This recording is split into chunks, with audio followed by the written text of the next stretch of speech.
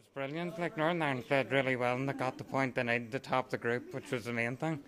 And the Northern Ireland fans well outsung the Finnish fans. Oh why there was a couple of thousand of us there, brilliant turnout. Like, oh, I think we can go there and make an impact. Like, we can definitely make the knockout stages. Like, Football, oh great, great. Do you know my, vo- my voice? You My lost horse. your voice? Yes, I'm hoarse. How did you lose your voice? Well, oh, it's young Davis, Davison.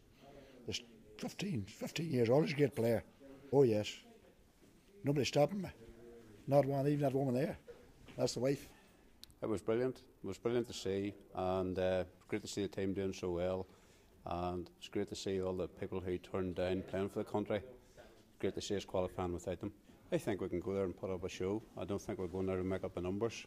I think we've now earned a bit of respect, and we can go there and make up the number, more than make up the numbers.